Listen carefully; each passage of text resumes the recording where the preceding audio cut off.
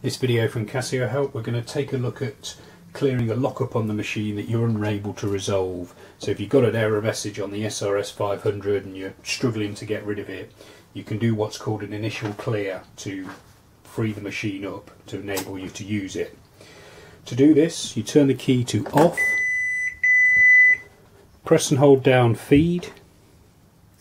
turn the key to PGM,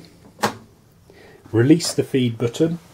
the machine will go off temporarily and then when it comes back on you press subtotal